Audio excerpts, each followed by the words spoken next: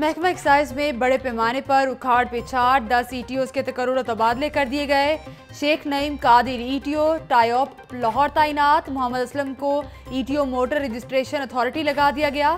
DG excise Punjab Akram Ashraf Gondal ने अहकाम जारी कर दिए। Superintendent district jail Lahore Asghar Munir का तबादला, महकमा डायरेक्टोरेट जेल खाना जात रिपोर्ट करने का हुक्म। डेप्टी सुप्रिंटेंडेंट गुलाम सरवर को सुप्रिटेंडेंट का इजाफी चार्ज दे दिया गया।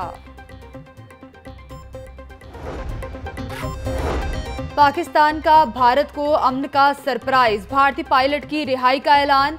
भारतीय पायलट को सुब वागा बॉर्डर के रास्ते वापस भिजवाए जाने का इम्कान।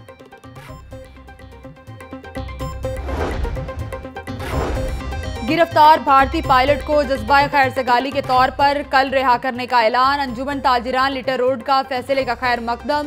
हुकूमत और पाक अफवाज के साथ खड़े रहने का आज़म। लाहौर में पीएसएल मैची सिक्योरिटी सूरत हाल से मशरूत। फैसला सिक्योरिटी इदारों की मुशावरत से होगा। किसी पीसीबी हुकाम पीएसएल के हवाले से आइंदा 24 घंटे अहमियत इख्तियार कर गए।